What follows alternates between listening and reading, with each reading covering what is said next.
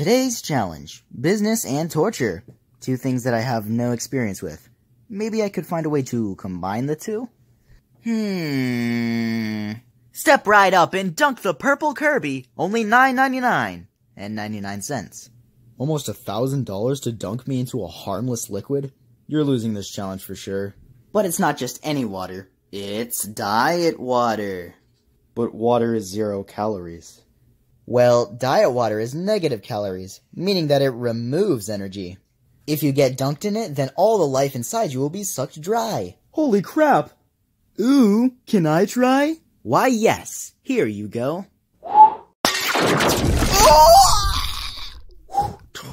Ha ha! I escaped, and there's nothing you can do about it.